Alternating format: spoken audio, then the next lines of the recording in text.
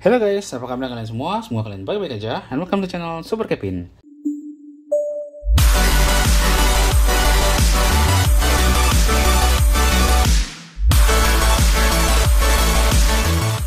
Ini uh, video berikutnya dari nge-review-nge-review uh, diecast. Untuk berikutnya gue mau nge-sharing review yang ini nih guys dari produk dari GCD. Ini udah gue buka dulu ya karena bukanya cukup repot jadi daripada di videoin makan waktu atau potong-potong gitu jadi dibuka dulu aja deh.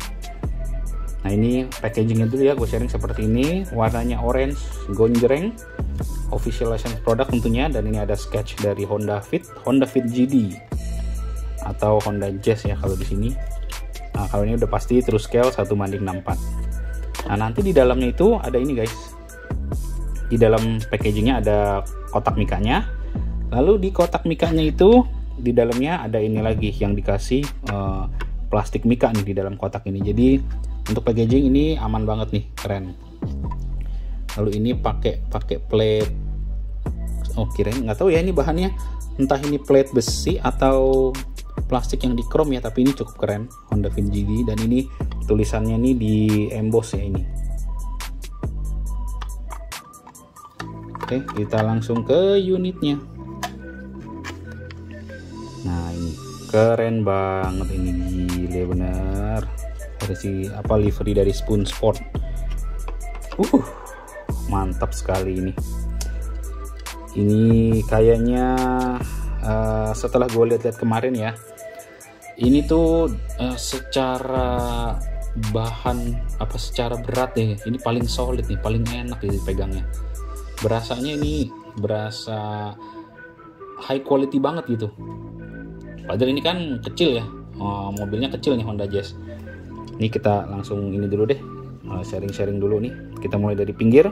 Ini ada spionnya, liverynya, spoon sport, velgnya ini seperti ini dan ini banyak karet ya, sudah pasti karet nih.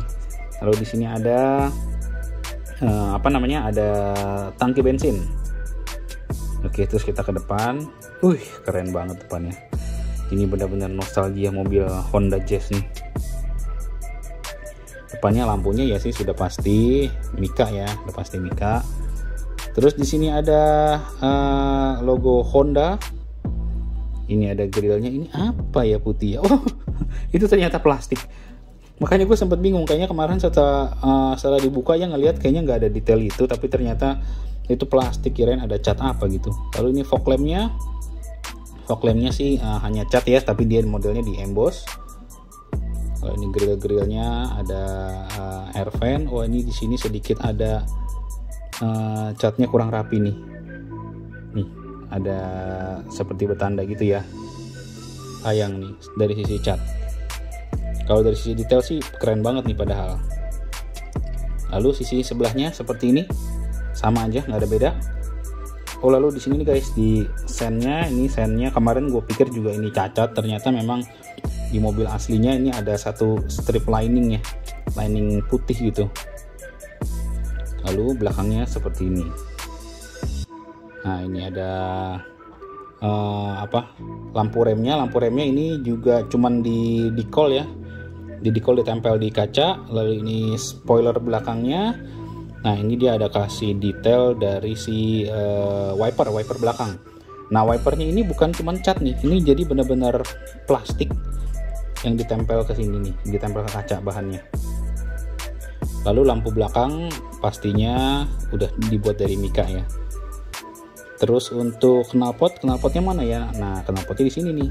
Nah gue juga kurang tahu nih, belum pernah lihat mobil aslinya knalpotnya itu apakah memang uh, begini ya? Atau hasilnya di sini ada ada cowakan gitu terus ada knalpotnya keluar. Cuman ini knalpotnya di uh, tail tipnya itu dibengkokin ke bawah gitu modelnya.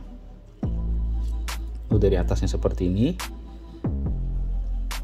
Kita lihat interiornya. Oh interiornya juga keren ya.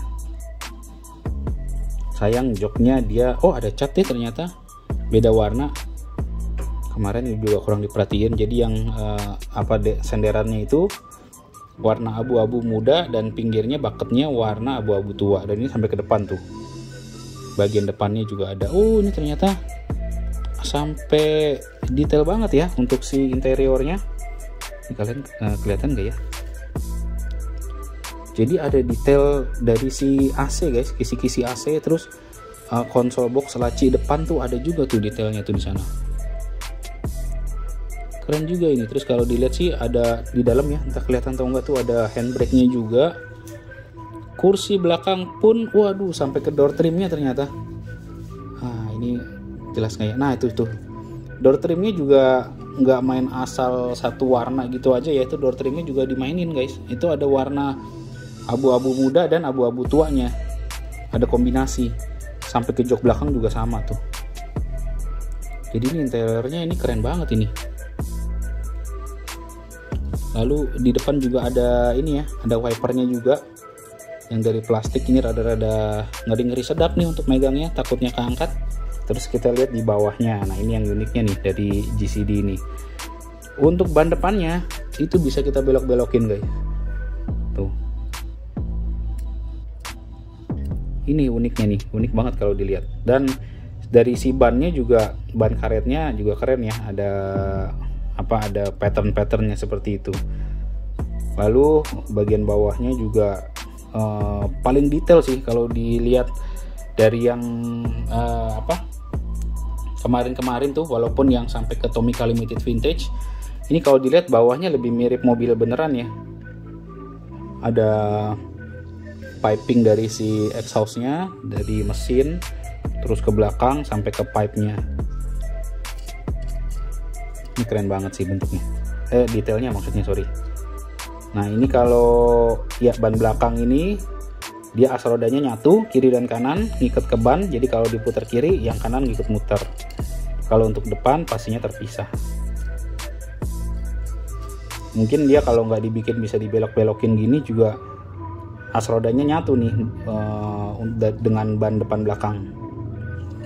Ini ada detailnya GCD 1 banding 64 Honda Fit GD oke okay. keren keren keren oke okay guys jadi uh, sekian dulu video review dari uh, produk dari GCD dengan Honda Fit GD nya yang menggunakan livery spoon ini untuk beratnya mantep banget ini So, thank you banget buat waktu kalian yang udah nyaksin video ini. Jika kalian suka, please klik like video ini, share juga di akun sosial media kalian. Dan akhir kata, Super Kevin, 叫